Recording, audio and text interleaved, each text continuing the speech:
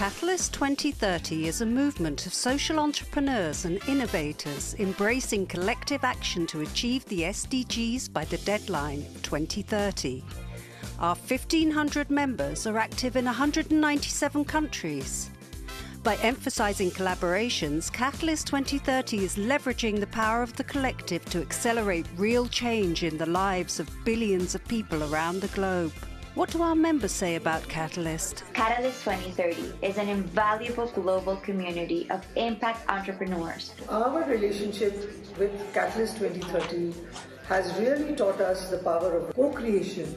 Join Catalyst 2030 and network, bond, and collaborate with our family members. And I like the spirit of bringing change makers together to share and learn from each other. Catalyst really understands the transformative nature of um, collaboration. It's also a platform that uh, can give us um, new tools and resources. Catalyst 2030 has put my work on steroids. But most importantly, to come up with solutions that are practical, ways where we can really make things happen, because social entrepreneurs are doers. Are you a catalyst? Join us to achieve the SDGs. And with that, I um, welcome everyone here to our session How Film Can Tell a Story of a New World. And yeah, we are officially starting here. We are all here for, I think, a similar reason.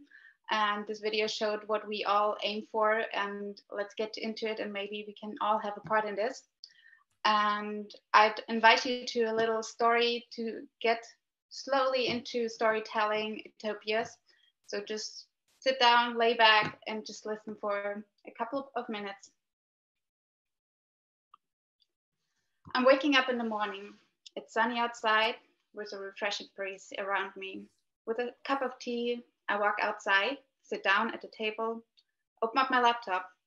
I'm surrounded by nature, I listen to the sound of the, of the birds. It's very green. I start reading the news, and it's absolutely great and motivating. I read about how we get closer to completely eliminating hunger in this world. I see an article about how we support each other across borders to rebuild what has been destroyed in wars. But there's no war anymore in this world, nowhere. We found fuel and techniques that made it possible to decrease emission and pollution drastically so that we can contain the most severe consequences of climate change. I could go on forever because there's so much good news. But enough for today. Let's get to work. Change obviously doesn't happen by itself. But with my small freelance business, I can be part of it. Welcome to the end of my 2029 and congratulations to all of us. It looks like we managed together, together to achieve the SDGs by next year. Thank you for taking that little journey to my personal utopia. To me, it sounded kind of good, but you might think it's also unrealistic. But that is what stories and utopias are for. You, can, you are free to imagine how your future and your story is going to look like. And with that, that welcome. My name is Karina Reinhardt, and I will be the host for the session. I'm a producer, coming from a background from marketing and commercials. I started last year to shift my work and focus more on producing videos, film, media content with a more socio-economic background and an impact and purpose for society. For some, maybe a so-called newbie to the sector, um, my drive comes especially from inspiring and motivating other people through content, how we can make a change and how can how we can make some something new, something different. And this is what we invite you all together and for the next 60 to 90 minutes to explore how films can tell a story of a new world. And we will discuss and give some interesting insights on how you can bring your own story to a next level and just become part of a big change.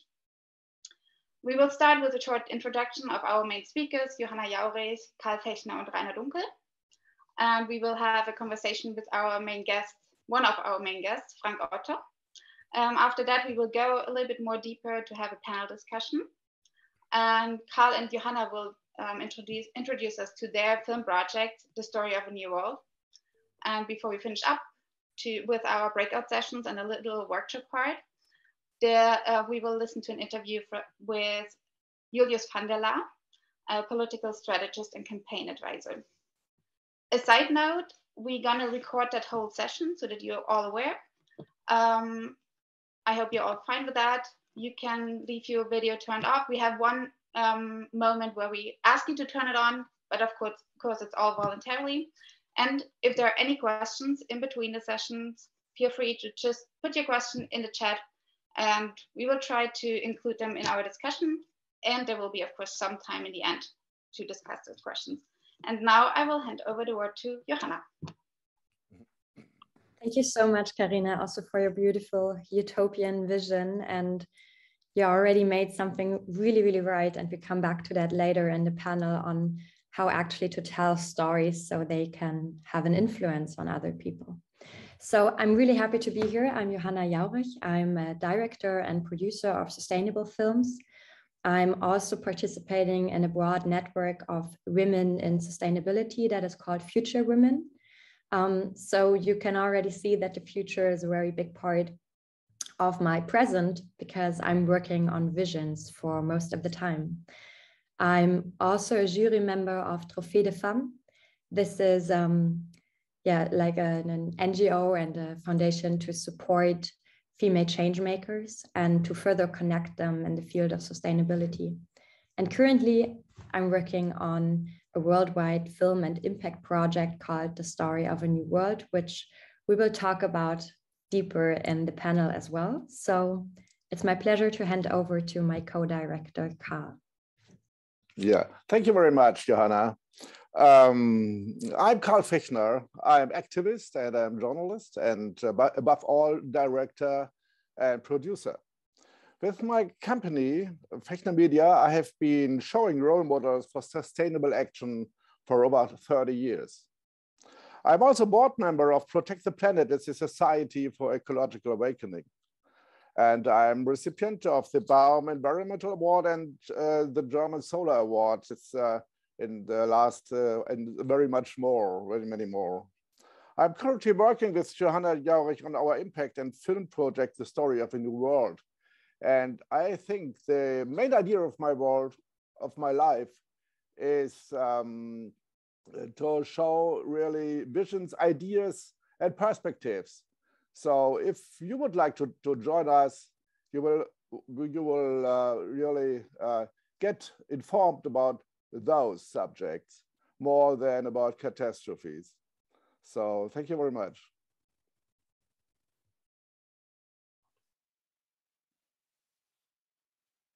Good morning.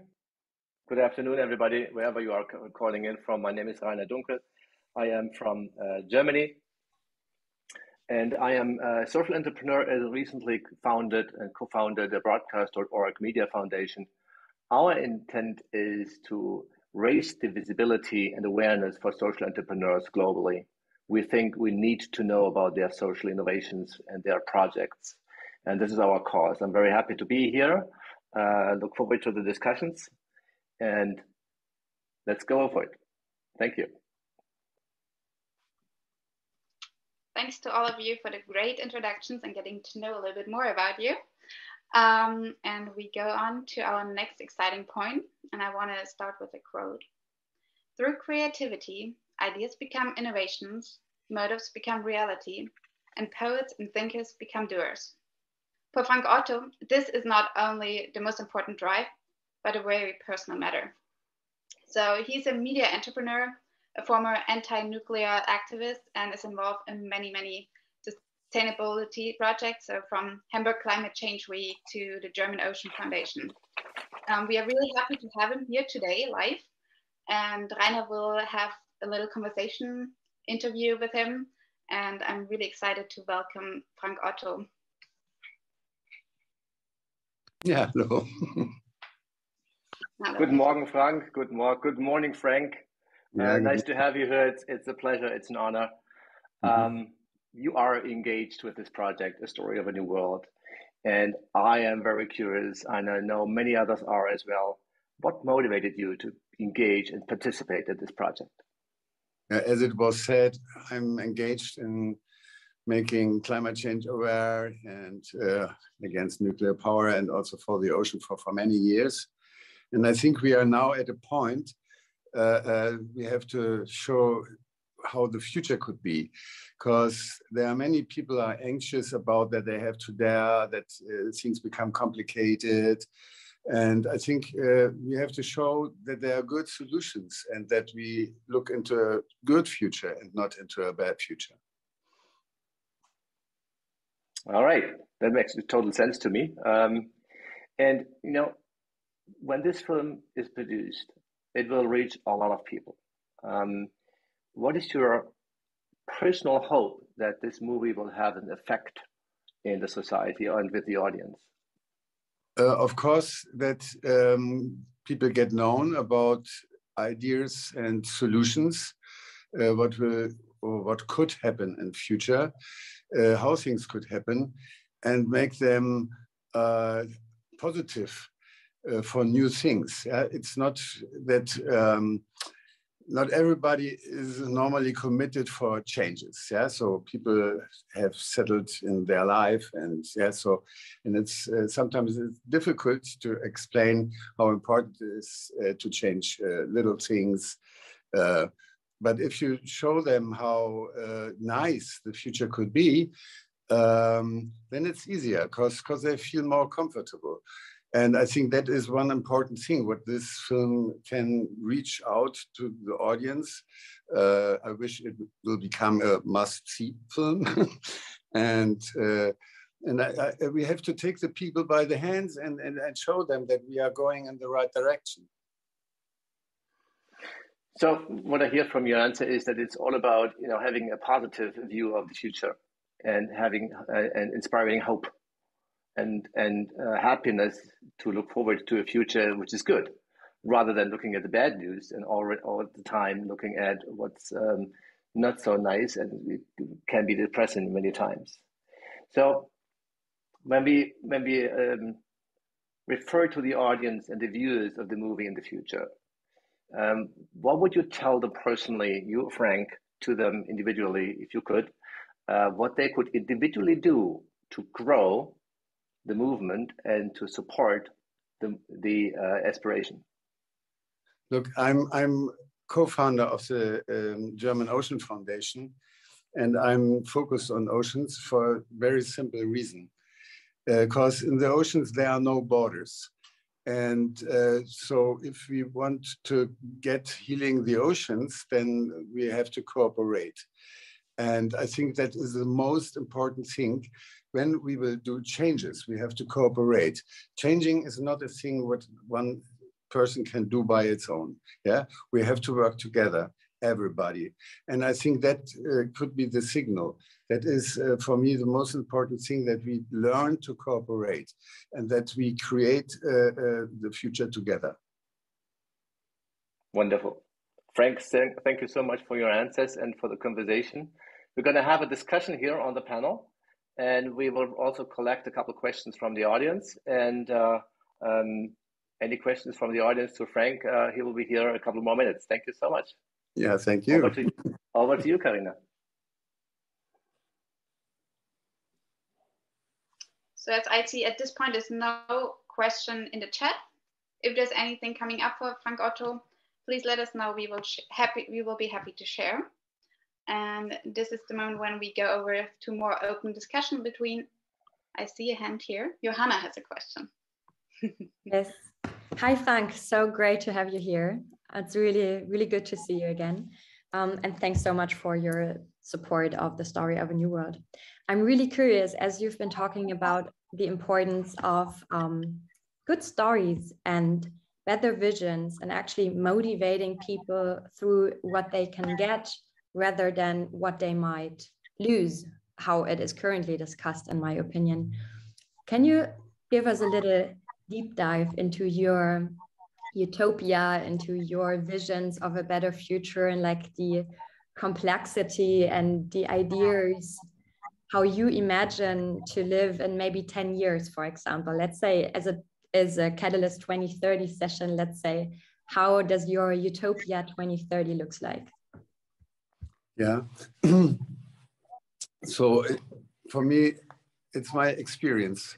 Uh, you use the word utopia, and uh, the funny thing is, uh, when I was young, there was a book. It was called Ecotopia, and there were things written in uh, which uh, didn't exist. Yeah. So, but it took only a few years. Uh, and all these things which were written in this book did exist and uh, and that is uh, I think that is the impact uh, that a film like this uh, can can do. And we know about uh, the problems, especially in Germany, we have now uh, for get our energy. And um, I think at the moment everybody is very is focused on on on that that we have to change the way we have done it to get our energy in the past. And, uh, and there is a, trust in the meanwhile that uh, we will get to our goal. And uh, that was not before. That is a new uh, feeling I have in this country.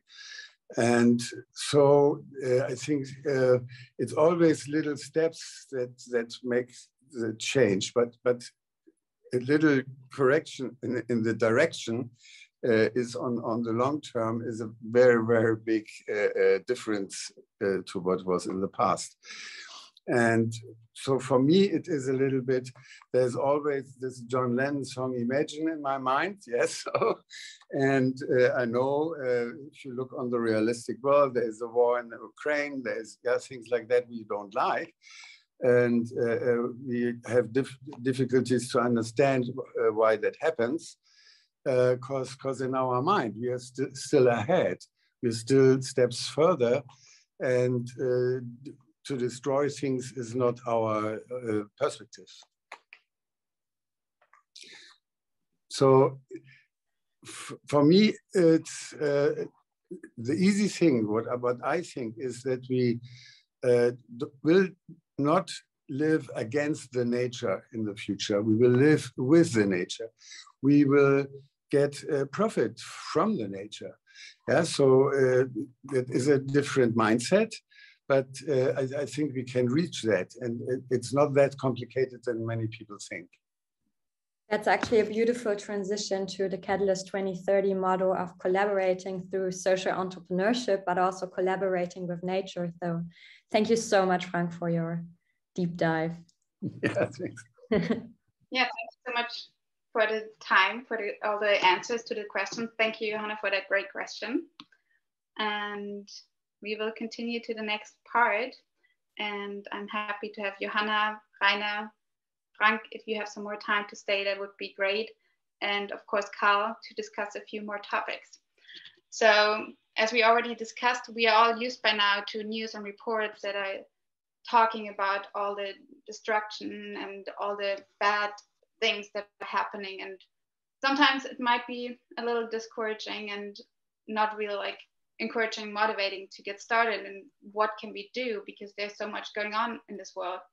And i believe that most of people are aware that we have to do something that we have to reduce emissions pollution that we have to find alternative ways to conserve resources habitat um, that we need to renewable energies. We all know that. Um, and our living space it's where we are is really endangered and it's for our lives of course also a danger.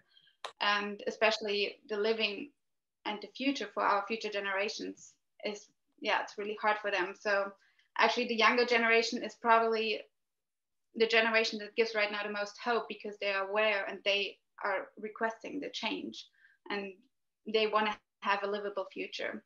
So as I said, everyone seems to be aware, but still it's kind of hard to get started. So what is holding us back or slowing us down to achieve an actual change and transformation?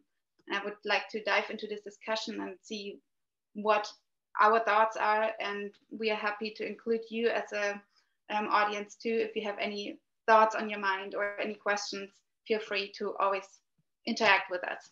That's what we are here for. I see Johanna already. Yeah, like oh, there's so much to say about that, Karina. So I'm trying to make it short so we have like a discussion and, and not a monothematic kind of uh, approach. Actually, I do think the first part of like, I mean, your question is what is holding us back to actually proceed the changes that we know already. Basically, we know we know what to do, um, and I think the first thing is we actually need to acknowledge the multi-complexity of what we're facing and that basically a topic like climate change or rather call it climate catastrophe because climate change is kind of neutral and it isn't. I mean it's life threatening the complexity and also like it is not so deeply related to us all the time, every day, like a short catastrophe, like for example, the flood in Ahrtal in Germany or like the heat wave in India right now. That is like, that is currently a catastrophe people are facing. And we're really good in the actual solutions of dealing with catastrophes of that kind. But cli- the climate catastrophe is something that is gonna like level up in the next few years. We are not having that mono causal part of if I'm doing that, then I'm adding on the climate catastrophe. It's kind of very complex and we're not psychological wired for that, to be honest. Um, I can like I, through our studies also in regard of the research of the story of a new world, we found out about Renée Lertzman's work, and she's just a brilliant environmental psychologist. And what really opened up my eyes was when she said we have that specific window of tolerance. So, and in that window of tolerance, we are most capable as human beings to actually solve problems and to actually deal with the cl climate catastrophe if we are getting out of that window of tolerance, what happens is depression or anxieties that is like so common in nowadays societies. I mean, have a look at the psychological diseases gaining every year, especially with younger generations. Or on the other side, we get uh, we, we dive into cynicism, right? We're like, okay, what I can like my own life I can not do anything against the climate change. So what we need to get back into that window of tolerance and to be capable of finding solutions is acknowledge and really be emotional with each other and empathetic and really be like this is multi-complex we all don't know exactly how we can solve this but we need to try and we need to collaborate collaborate and we need to find a way and like use evolution in the best way because I, and that's my last point, I'm just really deeply convinced as human beings that we're capable of so much more than what we are actually doing. I would be really interested in Carl's and Rainer's opinions and thoughts on that. I'm happy. I'm happy to add real quick, um, Johanna. Thank you for for the heads up. Um, literally, um, I think it is uh, important if we look if we look at climate change the way it goes right now that it is important for us, for all of us, to change our attitude. Attitude, I think, is more important than changing behavior because behavior is basically saying, I am accepting, accepting what other people say I should do. If we change our attitude, we actually do that intrinsically and we don't need to be motivated because we have an openness to the facts and we know by heart what needs to be done and we feel it. And here comes the storytelling as part of the very, very important aspect of it. Uh, when we hear stories, we feel it. When we feel something, we are engaging, we have an emotional reaction to it, and that can move mountains. If I hear the news in the television that gives me facts and numbers, that is, the, the numbers and facts are so big that I cannot possibly have an emotion to it because it's too abstract. So storytelling comes into play a lot, and uh, I'm just um, you know want to want to raise the, the issue and, and discuss the issue of attitude uh, towards the facts, and so we can actually all go and do something about it. Carl, you want to say something? Yeah. Um, you see, I'm doing doing films in more uh, than 30 years, and in the beginning, I did. Uh, I started with films about uh, peace and war And then I recognized in, in Iraq, by the way, yeah, uh, 1920, 1990, uh, around about that. Um, and then I recognized that people are very aware about, uh, let's say, tragedies and, and uh, bad news. It is unbelievable. So it seems to be that. So, that's uh, when I did these reports, I was uh, from, from Baghdad and all that. There was, uh, yeah, a reporter from Baghdad and all that. It is, uh, it was very crazy. that I was very successful with that. Um, and, but then I said I was, I was a war winner. And this is uh, one of the first decisions, and it is a question of decision making. It was a decision that I didn't want to be a, a, a, a war winner. Yeah, it, it, was good for the career, by the way, for the money too. Yeah, um, and it was a decision that I said I would like the, to be the person who is inviting people uh, to to let's say to change their life in another way. So films my films are mostly invitations. And, and to do that, I tell you, it is very much more, uh, you have to be, you have to have very much more efforts by doing films. If you report about uh, about war or, or, something like that, you need a camera and you go there and you you film. You see it in the moment in Ukraine too. Yeah, there are lots of uh, of, of your reports about that. Um, and it seems that people are have a, a, big awareness by that. If you would like to to show people, uh, yeah, examples of surviving, yeah, you need more. You you you need uh, really you need more. Let's say uh, you're doing. You have to do more for that. Uh, very much high standard uh, music, high standard pictures, and all that. It is very interesting. But what is very very important by that is um, that uh, in this, uh, this is an invitation to, to that's what Johanna might said too. It is an invitation to live better. So it is very, very important not to show people, oh, that is uh, this ecological life. Yeah, it is so hard because you have uh, no more flying, all that.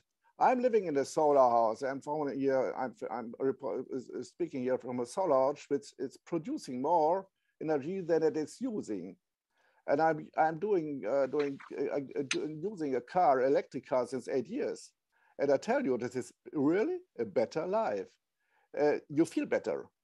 And that, that is it. That is uh, the, I'm very much um, convinced that, that films can do that, yeah, can invite for that. Um, and, and uh, this is, is an invitation to decide. And that is uh, the question of my life, for example. That's why a very important uh, film of my life was the power to change. How can we really, let's say, in, invite people to change it? And I'm not convinced, very much convinced by that, by uh, let's say examples that people are doing that. I'm surrounded by thousands of people, which I know, or hundreds of thousands, who did that. Or to say it's a better life then um, that is, I mean, that's the story of my life to, to, to show it that it is possible. Yeah. May I may I add something, Karina? Do we have one yeah. more minute? Um, because what you said, Rainer, it's not so much a matter of behavior but attitude, and I think that's a crucial point at the moment, right? Like that's where we are currently standing. That we feel like the way we did it before is not working anymore, but we haven't really found a new way.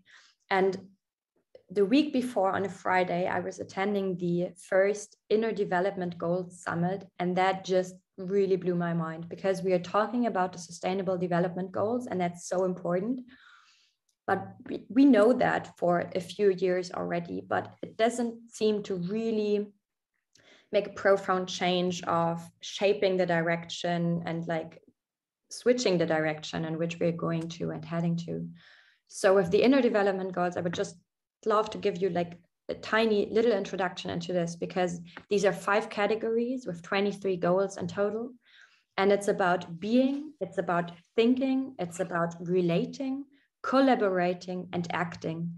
And I think this is the missing piece of the puzzle in discussions we're having nowadays that we're not really addressing us as human beings, but rather just from like a logic perspective of okay, it's it's better to invest in renewable energies, for example. But we don't really feel it. We don't feel what Carl just said. It is actually also something that makes our lives better, that makes other people's life better, that we have that opportunity of collaborating much more as human beings. And just because Quentin was asking that in the chat, Quentin, great that you're here. Um, we're mostly producing documentaries, but also we're currently working on a documentary fictional approach with the story of a new world. So we're like linking feature films and documentaries, but we dive deeper into that in, in the next round, just so that you know it's not like it's it's about storytelling in general, but in regard of film, like the whole spectrum basically.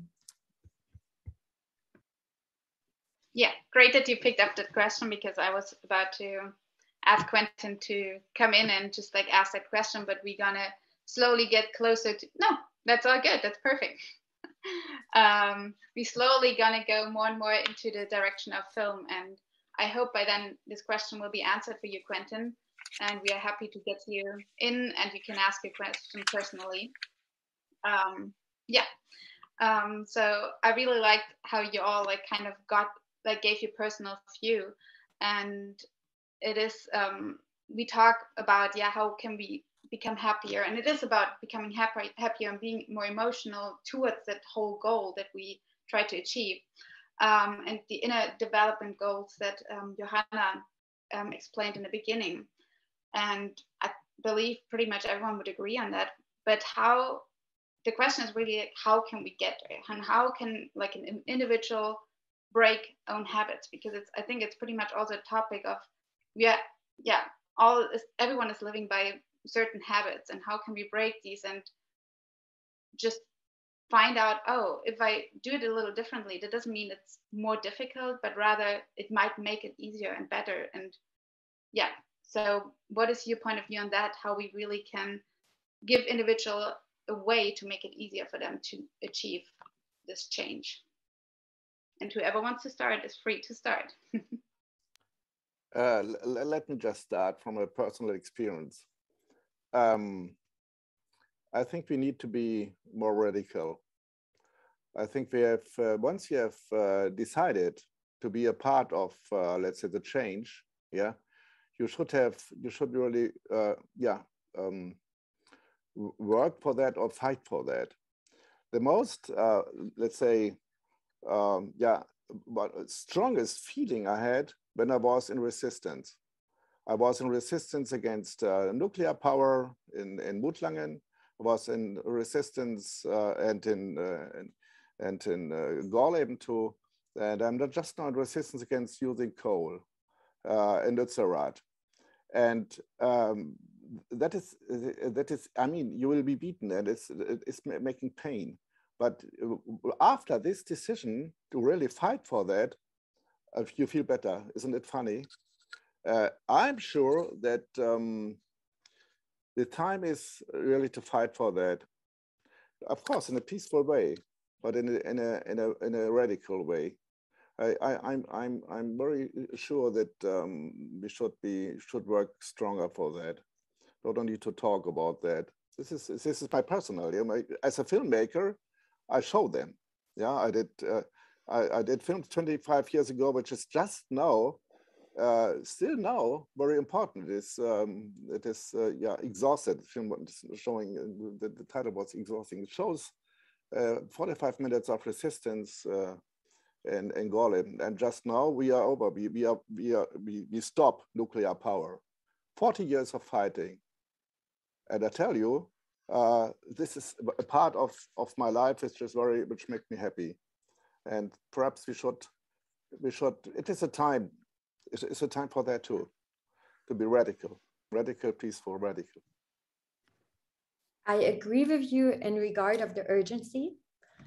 Um, but also in re- like I kind of disagree, or like let's say I'd like to add something in regard of the method because yes peaceful civil disobedience is one way but it cannot be the only way i feel like if we want to really collaborate in that we all need to find our own position in the movement and actually there, I don't want to dive too deep into this, but in transformation studies, there are like various um, positions that are equally important for driving system change. And it's not just the fighters in the front lines. Um, and what I'd like to add on that is like there's a study of Erica Chenoweth that showed that we need 3.5% of the general public in a peaceful civil disobedience and actually not just fighting against something, but rather have a really big vision of what they're fighting for and what they like want where they want to go to. And then these movements are successful. If you have an idea of what you would like to do better and would like to change and i'd like to add one more thing because except for the fighting part and let's call it the active part i don't really much like the word fighting especially not in these times. Um, and especially not on may 9th today. Um, what like is very important from my personal perspective is the things that you surround yourself with. Let's be it perspectives like solutions or the media constructive media that you consume but also in your local communities.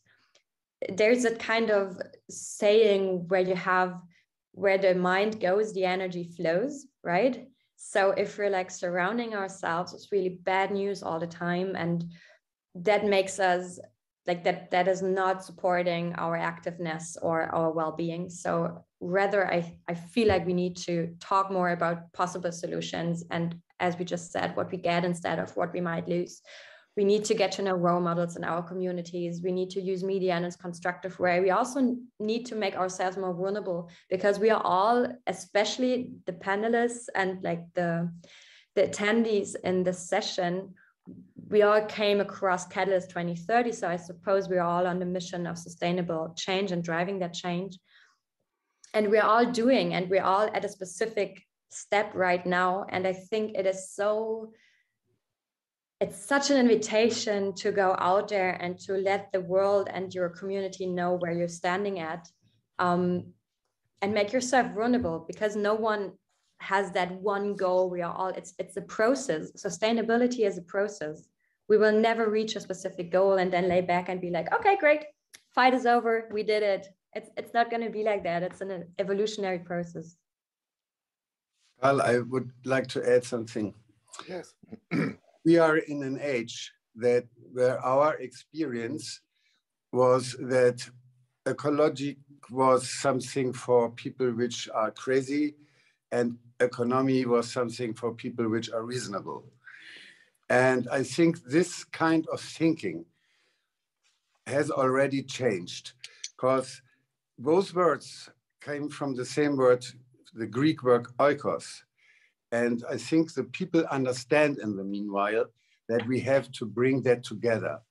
And, uh, and, and the fight uh, for bringing that together is a different kind of fight than the fights to be against a power plant, uh, nuclear power plant, or something like that. Yeah. So uh, I think, yes, of course, uh, uh, the civil society has also to show their strength always Yes, so we have to do also these things. But I think the most thing what has to happen now is the change in the mind. yeah, I mean, okay. I, I, um, this goes this goes back to the Frank uh, to the question Frank uh, that I asked you uh, just a couple of minutes ago about the individuals, um, and I think the the every individuals that we have, they are looking for role models. When they have role models, they can you know, jump in the calls, they can understand, they can ask questions, they don't feel alone, they can just follow the movement. And then we should be aware of the fact that we have two power tools, every one of us, which is one, we are consumers, and another one, we are voters. We can change everything when we change our consumption. We can also change everything if we are uh, voting for the leaders in office that are fulfilling the goals that we are that we want to see happen. Uh, and, and this um, is being ignited if we have people we can look up to. And the activists are the heroes.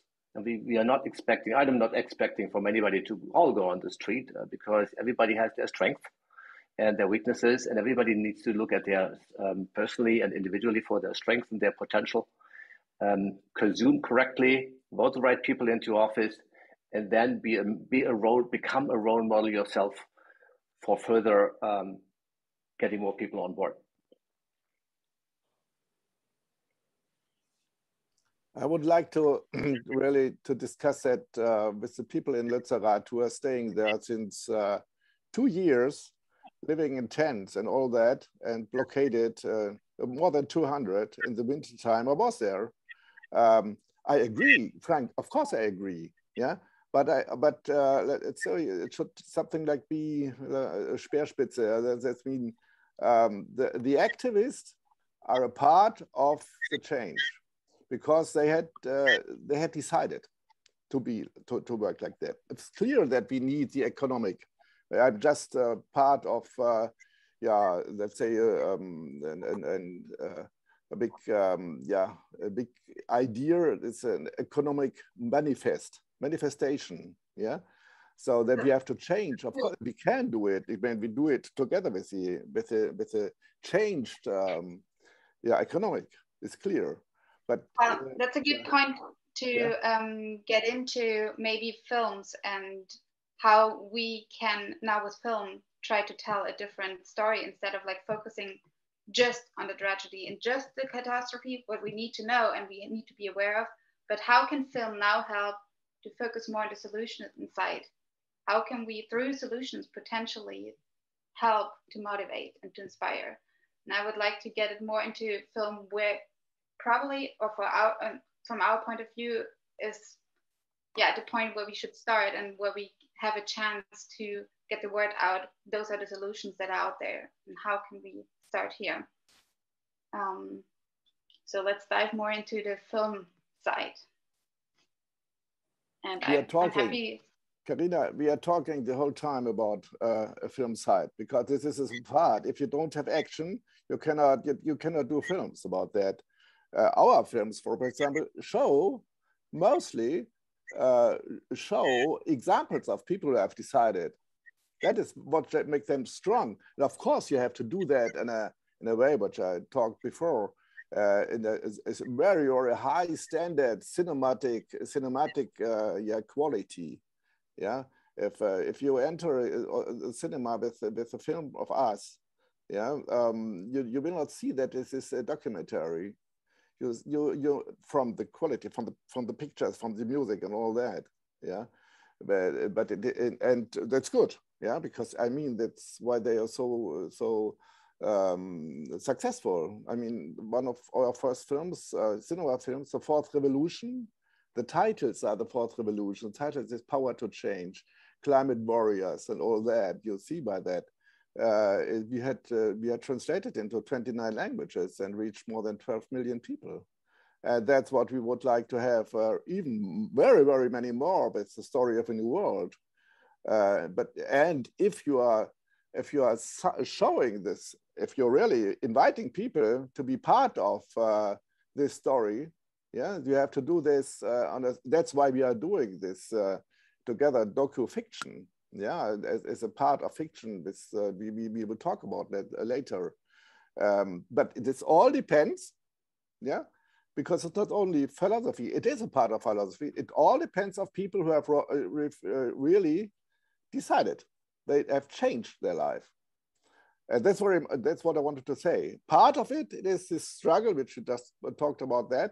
Other parts are yeah, this psychology change, which is which is very needed. The old, the older I'm, the older I'm, I, I it's the I, it is for me so, so important really to get to know why people decide a change. Yeah, and this is this is um, still going on. I mean, I'm not the only one. This is uh, Johanna just told about that about re research parts, um, but this is it. Um, we, we are invited to change to a better world. And that's what I wanted to say. And that's part of the films. That is the strongest part of the films. I'd like to add something, maybe also for. Oh, hi, hi, Stefan. We we take you in right away. we already see you. Um, for all the the attendees that might not have dived deep so much into films or filmmaking and also in regard of the, the name we gave our session which is how films can tell a story of a new world i'd like to step back and actually have a look at films and why are they so important of like driving system change further. Because as human beings when we get back into like history we love to sit around the campfire. We love to share stories with each other. That's the way knowledge was transformed through generations and like also build up. And to use the same phrase again we're psychologically wired in that way. We love good stories.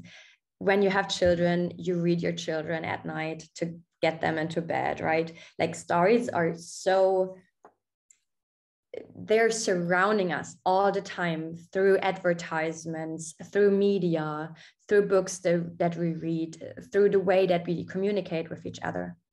So, and I say that as a great cineast, of course, that's the way, like the reason why I'm working as a filmmaker, but also because I studied media science actually. And from the beginning, it was so clear that I'm focusing on films because films are that one medium that brings together emotional perspectives, with visions, with also like it's such a multidimensional approach. You can hear, you can see, and you can feel. And there's no other medium that has that possibility to actually bring us into the point of where we can travel without leaving the couch, right? Where we can see like new visions and new worlds without physically traveling there.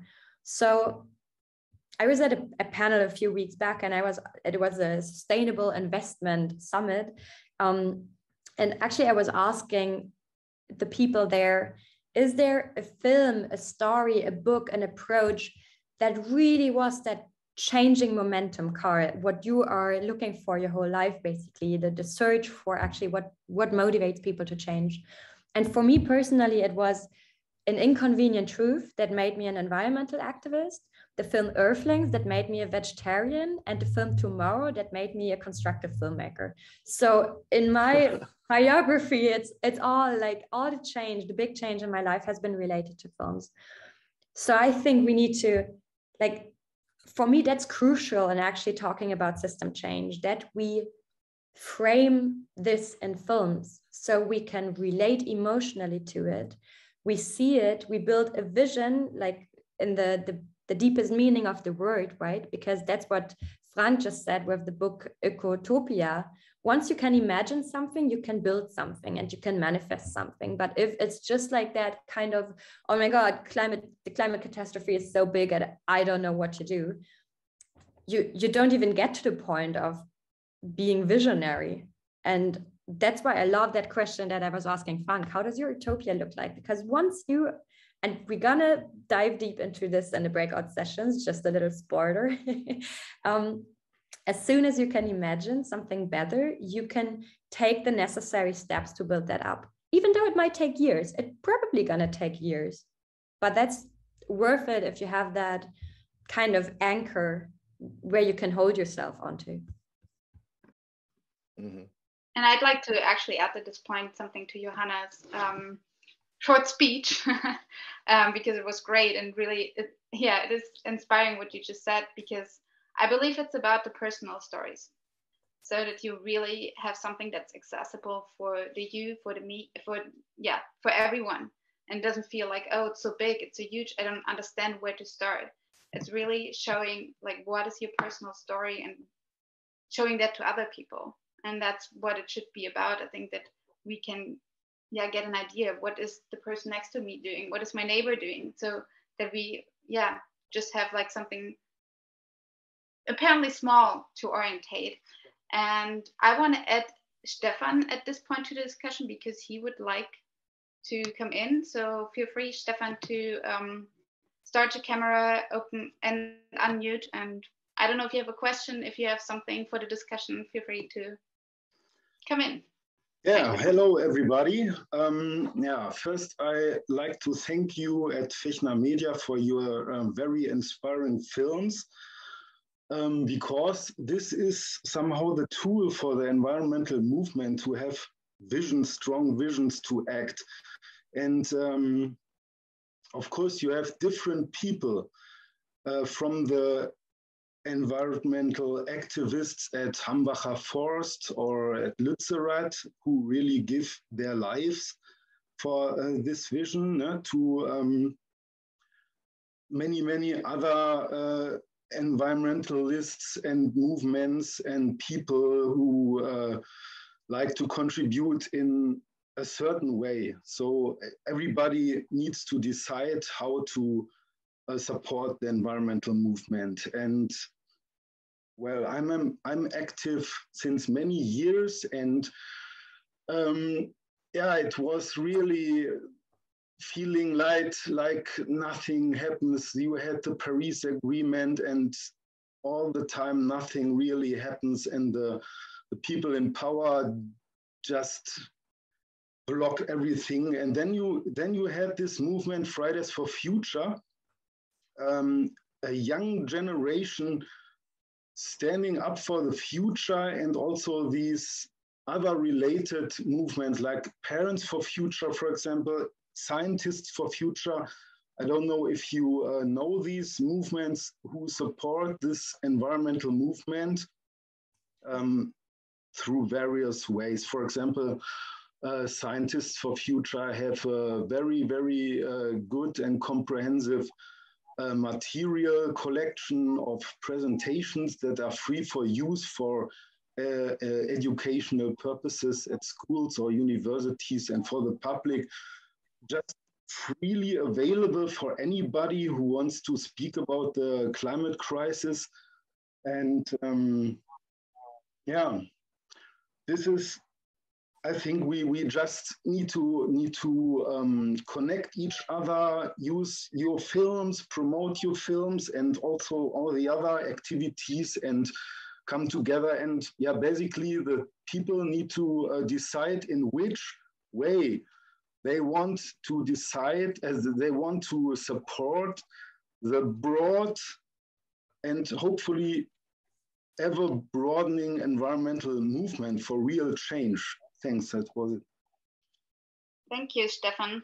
I think that's a really, really good um, insight what you just gave, and I believe that is also a good transition to actually the story of a new world, um, which uh, Johanna and Carl especially want to talk about because this is um, what you just mentioned. It is about collaboration to connect and to just find out like what other people are doing. And I want to give the word to Johanna and Carl at this point because there might be some people in this call who um, don't know that much about the film project that, that they are working on, and it would be good to get a good insight into this. You dream, you plan, you take action. Because besides money, courage rules the world. But what kind of world has it become? Every year that we do not take the necessary steps to stop climate change costs another 500 billion US dollars. Every year, 5.6% of the world's GDP is spent on fossil fuel subsidies. With just 1%, we could tackle the climate crisis. In the midst of chaos, war and destruction, we are simultaneously engaged in the greatest sustainable transformation process in history. This is our chance.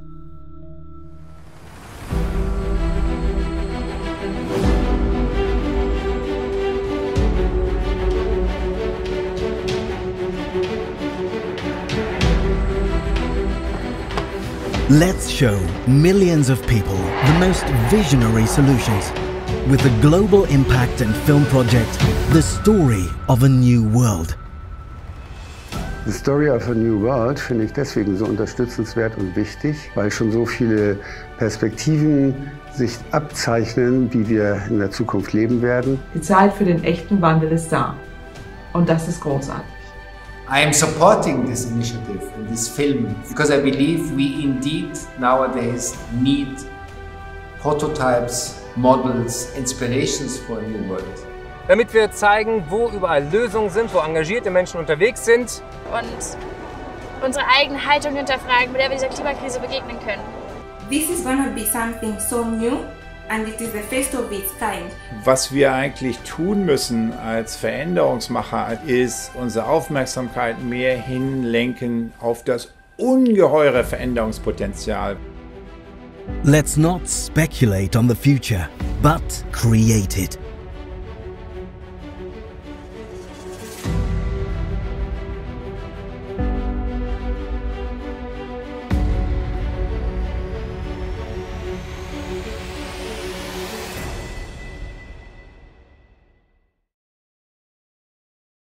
Yeah, you have, um, I hope you you like the, those uh, the pictures you see. It's always pictures of something which is already um, already uh, let's say where people have decided.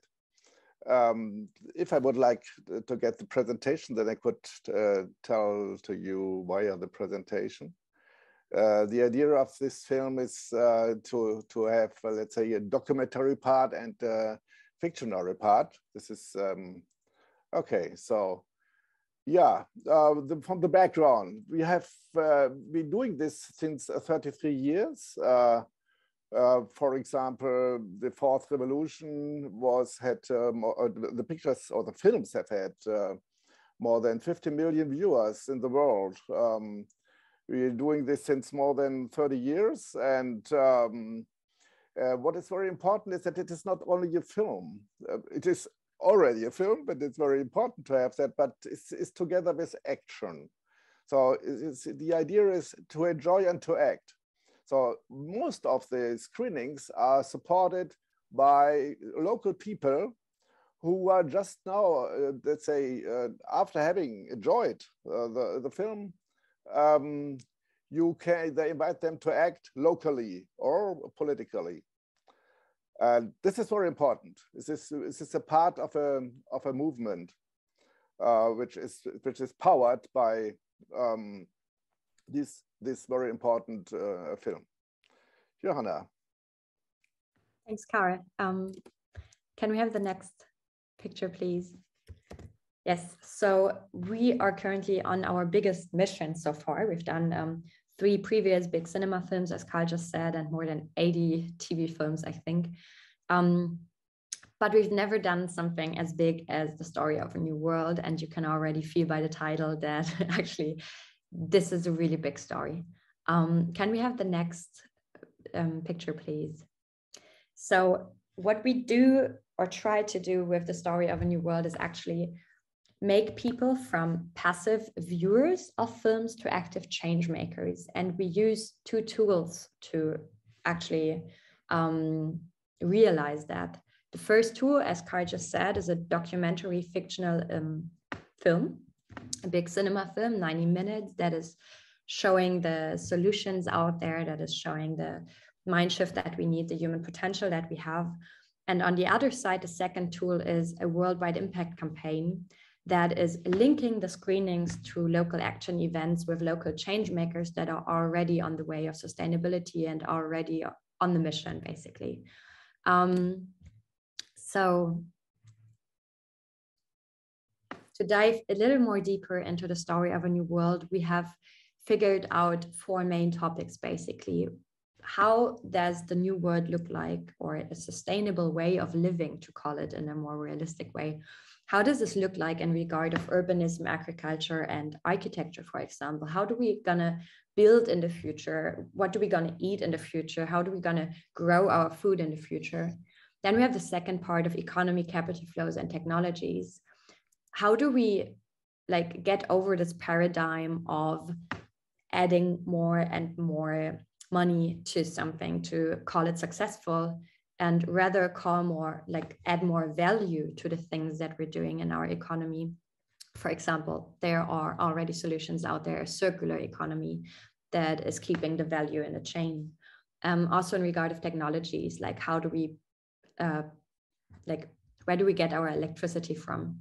Um, then we have social movements and politics, as I recently said, um, with the Erica Chenoweth studies.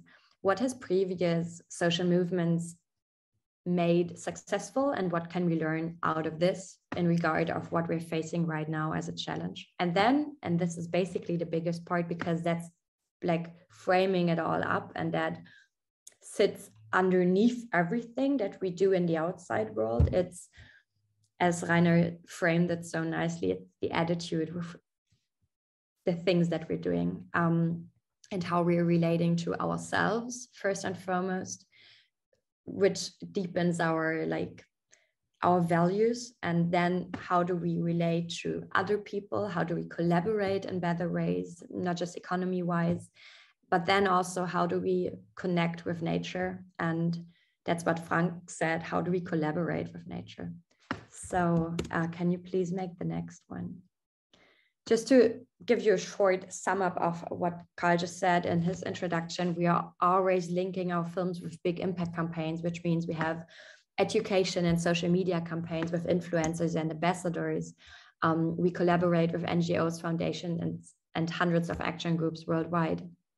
And then um, we have like this impact campaign in 50 nations, which means like every premiere screening in each nation, in each bigger city or whatsoever, is going to be accompanied by local action events. So when you've seen this film and you're sensitized for the topics, you get out into the foyer of the cinema or your open air field or whatsoever.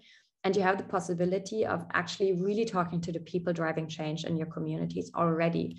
You can talk to the local financial corporate cooperative, or you can talk to the guys I don't know, building solar um, power stations or whatsoever. You can imagine all the variety of solutions out there, and you can really get to know the people that are already. Ich glaube, okay, da ist sie wieder. Sorry. What's going on? Da war gerade eine ganz kurze Störung, aber alles gut. Okay. Okay, good. um, yes, and um, because we want to make this impact measurable, we are collaborating with Remotion Impact that is accompanying basically the whole impact campaign, which is going to take place over seven years minimum.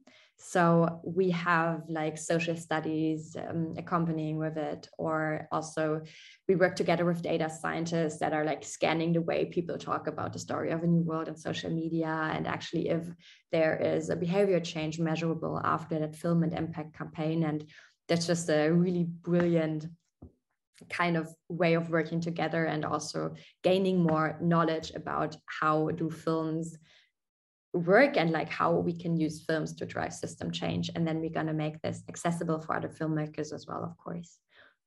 We would need the next picture. Um, that's just a short um, just a short overlook of previous impact campaigns that we did. And like a lot of countries. Carl has traveled so much um, with this. 88 countries. Please go on, Tobias.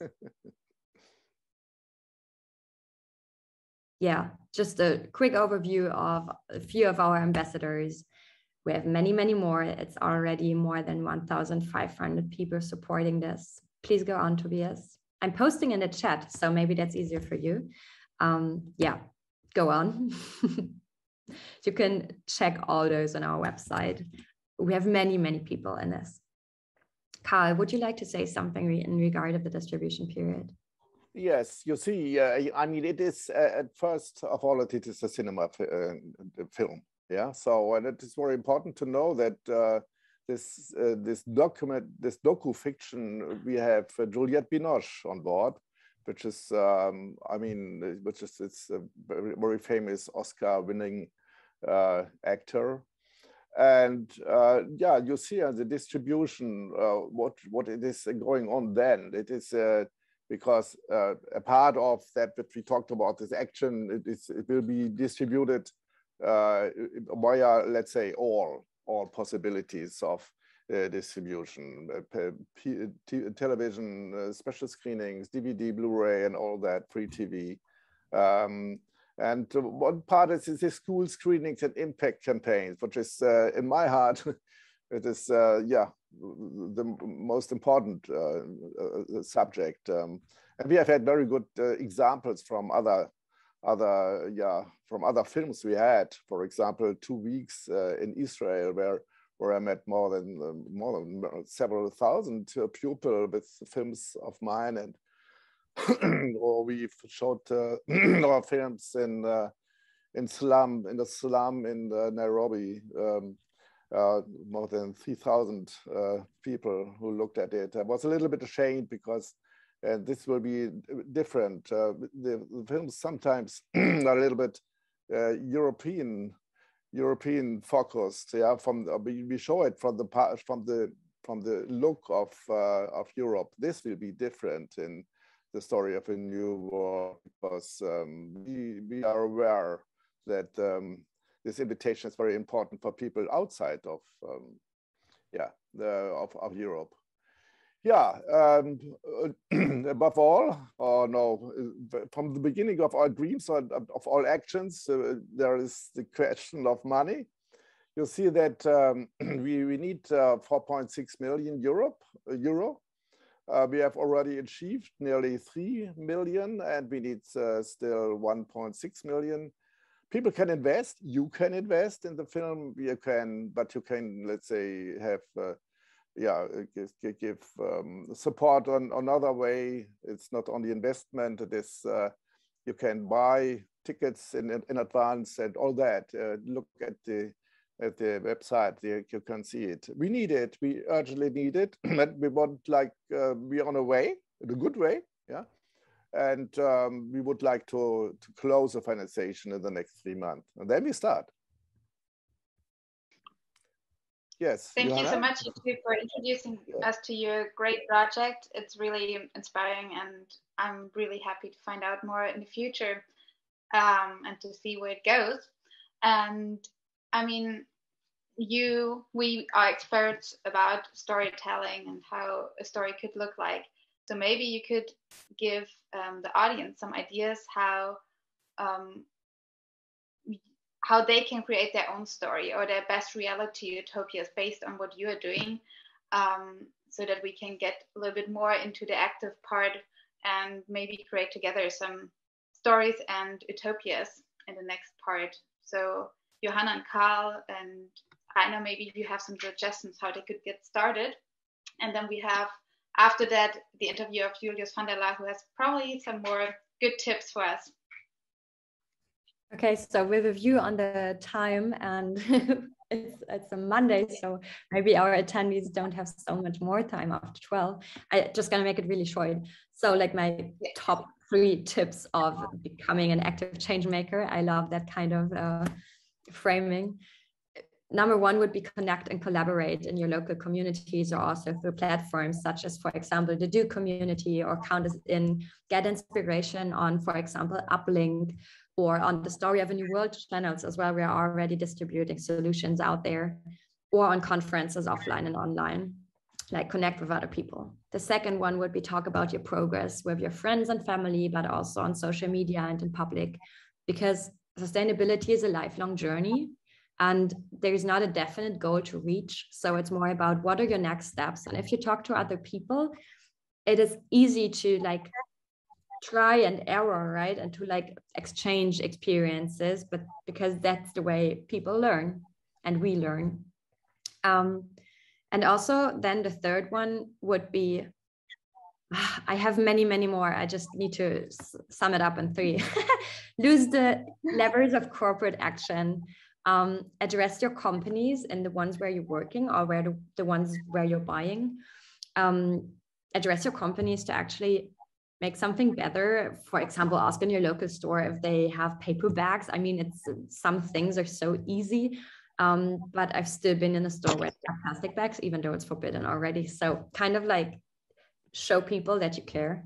Um, and yeah follow follow role models. And just like that, that, to sum it up i know it's not a fourth point. It, it stands overall. Trial and error. I mean, talk about things that went wrong and what you can learn out of it, make mistakes because this is an unknown road and it's completely normal and human and it's so great to actually be on that process. And so often we talk about being perfect to consider yourself an environmental activist and to like don't do this and don't use that. And we are all human and like be be kind and humble with yourself. So that's that's it. Carl it's nice. Um, uh, and, and decide. The most important is really to decide. Uh, once you have an idea just just do it. Yeah very many people discuss it and for example in the in the in our company the Fechner Media we have had some decisions uh, which are uh, very very good. For, for example green shooting it's called green shooting yeah? So uh, doing the, doing filming uh, we don't eat meat you know vegetarian food and all that it is which is uh, you're feeling better what i said before. The the and for me as a, as a ceo of, of the film uh, of, of this company uh, the hardest thing is the decision not to fly in germany to and that say uh, this is hard. I can tell you because uh, normally, which I, have a date in, in Berlin. Uh, I go in the morning. I leave the, uh, the house and the, and have some some dates in, in Berlin, so also Dresden or somewhere with the other office, and then I go back in the evening. Just now it is two days.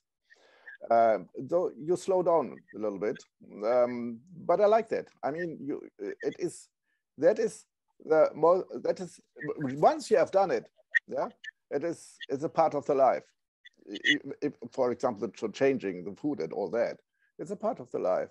Or uh, I don't understand people to to buy a fossil-driven car. I mean, if you once once you drive an electric car, it is very much easier and it's very much uh, less noise and all that. I, I, and but you have to charge it up after let's say 250 or 300 kilometers. So we have a break.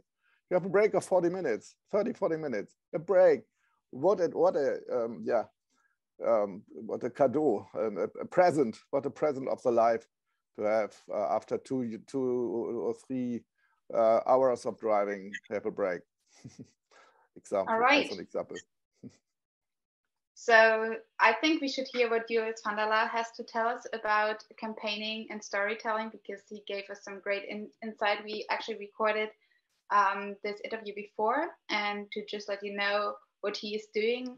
Um, he's a storytelling expert. He's an international political strategist and campaign consultant. In 2008 and 2012, he worked for Barack Obama's presidential campaign and is the founder of the Campaigning Academy in Berlin.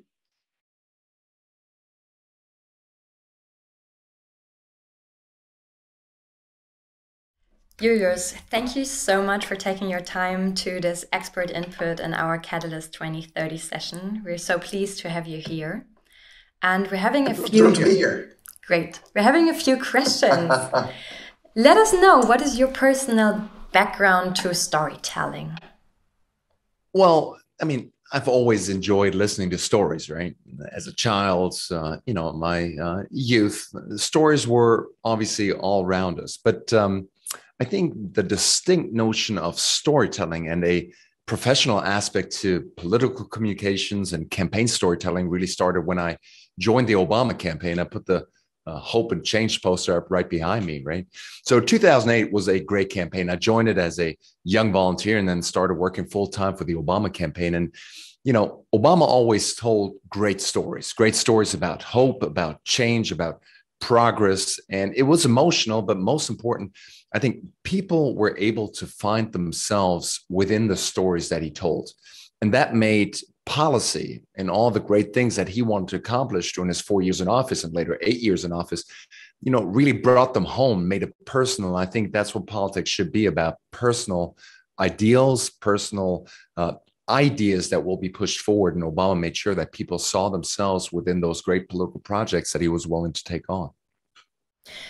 Now, storytelling is not only important as politics, but also regarding the challenges that we face nowadays, especially in organizations and institutions. So, from your perspective, why is telling a story important, especially with respect to social organizations and entrepreneurs nowadays? Right. I mean, we all have tremendous ideas, you know, policies, you know, plans, strategies on how to improve the world, how to improve different organizations, a country, a society, whatever it might be. but we got to organize those ideas. And so a lot of times you'll see people put together a slide deck, you know, PowerPoint presentation. So we'll put down all the different bullet points on the things that we need to change in order to get to the mountaintop that we want to reach. But the problem is that people a lot of times can't take in that type of organization and that type of information. So that's why we take stories to organize, to help people easier understand and then of course live those ideals and those strategies. So i think storytelling is absolutely crucial for any journey any organizational journey any transformation journey and that's why you got to put into a story rather than just tell people the different steps that they need to take do you have a really good example on hand where it's proof that it worked actually can you think of any good story that you came across recently that you really really liked well, I'll, I'll go back to the Obama campaign, right? I mean, President Obama came with the idea to change the country, but on a very concrete uh, level. I mean, he wanted to put in uh, healthcare reform. That was one of the main things that he wanted to get across. Well, that's a hard sell, Uh, right? Uh, a lot of people are skeptical. Well, you want to change you know one third of the economy you want to change so many different things that people have gotten accustomed to and so that's when we need to tell a story of what it actually means how it impacts you and everyday americans or citizens all across the world so i think actually putting that into a story allows us to actually get into resonance with the with the facts and the ideas. And so what happens is the following right? The way i think about storytelling is that you know we use our words and we don't even have to take, talk about social media or instagram stories or anything like that right? We tell a story. What happens right? I tell a story that creates pictures in your head right? Those pictures lead to images those images ideally will get to the point where you feel some sort of empathetic connection, right? Because you are all of a sudden able to feel the things that I'm talking about. Well, you feel it, that will lead to emotions. And then emotion, of course, will lead to action. This is where you, as a social organization, organization or a political organization, will actually be able to draw in an audience and then get them active. So I think that's the sort of cascade that we want to get to with the help of storytelling. So it's a tool uh, just like many other campaign tactics and strategies that can be deployed in order to get people active. I can totally relate to that as a filmmaker as well when you're talking about images and emotions and actions. So, coming back to the bullet point thing, actually, right. what are do's and don'ts in storytelling from your perspective? Well, I think one of the most important things in storytelling is don't be boring right? And there are a lot of structures that will help us to get to that point. Uh, there's a story spine from Pixar, but what I'd get to is, you know, uh, if you're not familiar with anything regarding storytelling yet, I mean, of course, look at some of the great storytellers and try to emulate what they do. I mean, when Steve Jobs is on stage or when Barack Obama gives a speech, or even, I mean, I hate to say it because I'm not a big fan, but what Donald Trump does on stage actually works too. He does great storytelling, whether we like it or not. But if you want to look at a structure, uh, go to Joseph Campbell. Joseph Campbell is sort of the godfather of storytelling, right? He took a look at the old Odyssey and the great Greek dramas and sort of deciphered the different steps that one needs to take in order to tell a story. And what I will say is one of the things that I always notice what is missing in a lot of stories that don't quite connect with an audience is you can't ever have a great story without a villain, right? And a lot of times people are afraid of a villain. We wanted to tell a great story about change, about progress, especially in social organizations. But the most important thing about a great story is to have a villain, a villain that will mobilize people and that will get people active because they see we actually need to change. There's a need and a desire for change. And a lot of times that will come from the villain, not just from the mountaintop that you want to reach. So start with the villain, figure out who he is or she is or it is and then actually campaign against it. And actually, maybe to add, make yourself vulnerable as well, right? If we cannot relate to something emotionally, then like where does it lead us to? So, totally, totally agree. Yeah. Let us know finally, because we don't have so much time. And despite of that, I mean, there's so much to talk about regarding storytelling and your expertise. But for today, this is my last question. What skills are needed for campaigning storytelling and actually how and maybe also where can they be trained? Well, one of the things, one piece of advice I'd give to any anyone who wants to go out and change things is you got to be able to answer two questions. And the one question is, why me and why now? Every presidential candidate, every candidate, doesn't matter where they are, need to be able to answer those two questions why me and why now? And so try to find a rationale for what it is that you're trying to do and why it is that you're trying to accomplish that. So, why me and why now? Or if you're an organization, why us and why now? And so this will tie into a story of the story of self, what led us to this point, why are we getting started, what's the villain? The th- second thing is, of course, the story of us, uh, what makes us unique as a group, and then, of course, the story of now. Why is it so relevant at this point? Um, I do a lot of trainings on storytelling, and you can find all that stuff on my on my website. I think you can go through any campaign story, any of the great political campaigns. You'll see this and a lot of great ngos use that type of storytelling as well. So uh, in the end i think it's practice and practice and get some feedback and do some more practice just like you have johanna. And um, i think storytelling can be a lot of fun. And i think it's probably one of the most powerful tools that we have in our campaigning toolbox if we want to engage others and get them on our side in order to actually see the change that we want to want to create in the world.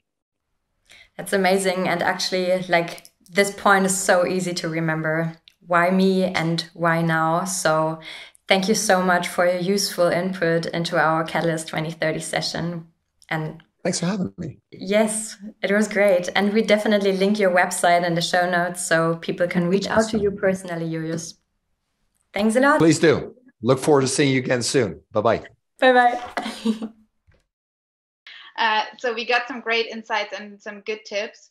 And with those at hand, we would like to go over actually to our um, workshop part. And I know we are pretty late, and we would invite everyone to stay a little longer. We can, if you are able to.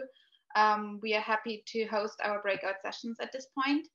And yeah, I hope you all can stay for a little while. And then I would ask to start the exercise presentation so that we have an overview what exactly we want to try to do.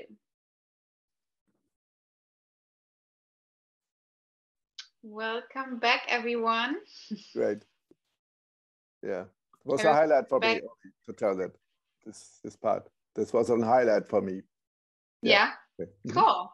That's great to hear. We are excited to hear um, because no one knows. I hopped actually from group to group a little bit and listened for a tiny little bit to get an idea. Um, but we invite you now, and as I said, maybe you could like choose one, or you had chosen one person who could just talk a little bit about what you were talking about. What were the utopias that came up? Maybe you had some similarities, and to kind of summarize for the other groups what was happening. And if we could start with group one, Johanna was in that group um, did you decide on one person who will present us a little bit about their takeaways, their outcome?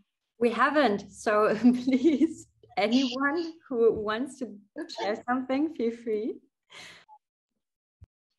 I know we could talk forever. So we've been talking about our perfect days in utopia. And what I found really interesting is that all of the participants in the breakout sessions both mentioned um, equally individually parts of their lives as like if i can if i can share that in the bigger round as like sitting on a desk and looking into nature or like living in a, in a shared house with other people or driving with the bike to the co-working space. So that's like very personal parts but then also they the utopia was about the bigger picture. For example we have more biodiversity, we use renewable energies. Um, the co-working space is built up in a circular way or we are only working together with customers that uh, like add to our values. And i find that interesting because we have that both dimensions right? We have the dimension going deep into ourselves of like how do we imagine utopia and a better way of living? But then also it is so much linked to the outside world and to like the bigger system changes that are necessary as well Mm-hmm. Very okay. interesting. It's cool to hear that you had some similarities there. And let's maybe move on to group two. Are there some outcomes? We have a few more minutes, maybe. Yes, I, can tell you that was we had uh, one participant um, who is engaged in toilets. Her, her, her vision was that everybody has a, has a toilet in the world. And this, this, this, this, was touching me uh, very, very much. Yeah, because this is the reality of millions of people that they don't have. By the way, they don't have electricity, for example, and uh, uh, and uh, yeah, this this is this is the reality of the world. Yeah, we have 800 million people who are suffering from hunger. Uh, we have millions of people who don't have any toilet. And she's working for that. She comes from an Asian country, and this is an NGO. And um, yeah, they really they strong, really working for that that people get a toilet. Um, and uh, this was touching me. Yeah. So that's Yeah, why I said it's a highlight for me. Yeah. Mhm. because it's so yeah it's something apparently so small but important in other areas um, of the world so it's a good thing to talk about this i think we could go on forever with that and just like talk about the future and how it could look like. And what it shows us that i think sometimes it's hard to imagine that there like even if it's such a small thing and apparently it seems not to be important for others it's good to just get the story out and to talk about it. What touches us and it might touch someone else far away just like carl um, talked about the toilets and i think um, zarika i hope I said your name right just um, posted the link to um, that project so um, it's really important that we share our stories and get it out and maybe at this point, if there's some more question, feel free to ask. Um, we're going to stay here for a few more minutes. We totally understand if you have to leave because we are 15, 16 minutes over. Um, but for me, it was a really great experience to um, just host that whole session to get all those ideas that out that are out there. And I'd like um, to invite Carl, Rainer, and um, Johanna if there's anything else you want to share. I'd like to thank Frank Otto and um, Julius van de Laar for their time and um, the interviews they gave us. It were really great insights. Yeah, thank you so much. And thank you, And Karina. now the word Wonderful Carl, Rainer, moderation. Thank Yeah, you, thank you, Karina, Karina. for the, for the moderation. Yeah. It was a pleasure. Best tip from my side for everybody please sign up with the newsletter for a story of a new world to keep in touch with everything that's going on. Great. Thank you very much. And thank you, Tobias, for the background administration. Sorry, Thanks, Toby. Tobias. and Okay. thank you to Catalyst for having that great Catalyzing Change week. Maybe you find some more sessions. There's a lot going on this week. Check it out.